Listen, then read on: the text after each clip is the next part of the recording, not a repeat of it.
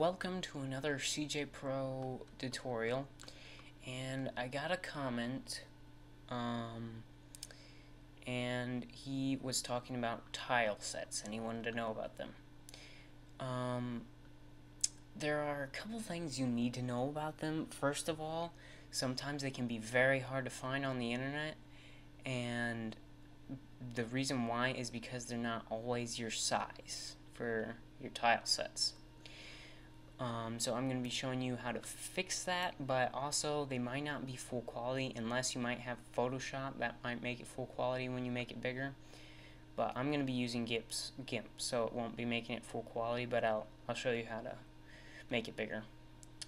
And uh, the other thing is I'll also show you how to make your own.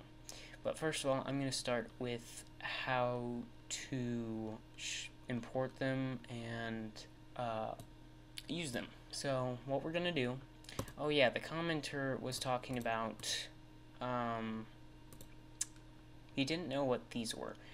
Um, you were talking about A, B, C, D, E. Now, the A1 and A2, those stand for animations. So, like water, that's what those are.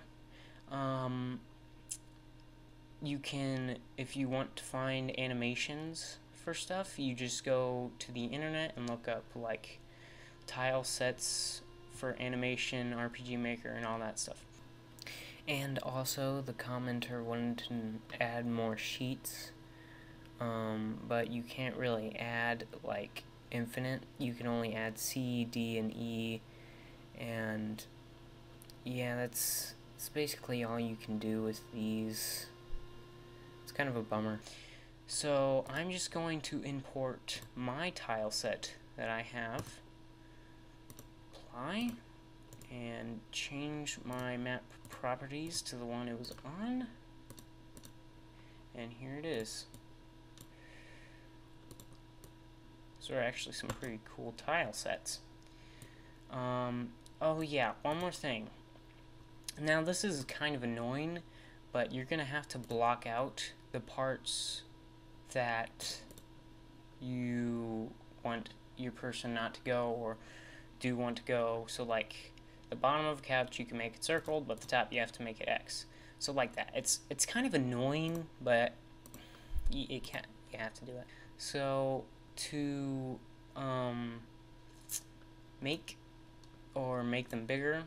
So this is what you do for your tile sets. I so what you do is you take the tile sets you have that fit your screen, like these, and you add them to size. You put them to size. So like, so this one worked, so it's the right size. So let's say it's not. Um, so you take this tool, click on it, and you pull it to the size you need and that's how you scale them to the right size. It might not look the greatest graphics when you use GIMP, but maybe with Photoshop.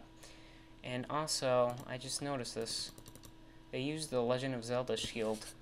That's funny. And um, how to make your own is you just make sure it's in the right tile place. It's it's kind of hard, but you can change the color, going to black, changing it, and all that stuff. Now real quick, I'm going to show you how to import them. You go to Open Game Folder, go to Graphics, go to Tile Sets, a lot of you might have known this, and then you just put your picture in there. And that's that. Thank you for watching, and please comment and like and subscribe.